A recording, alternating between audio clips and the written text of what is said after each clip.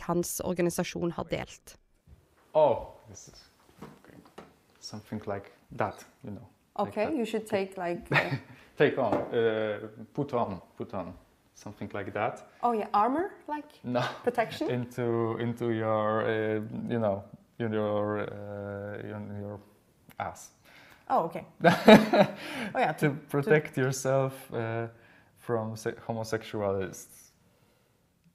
That's Okay. all. That in your ass. That's all. Oh okay.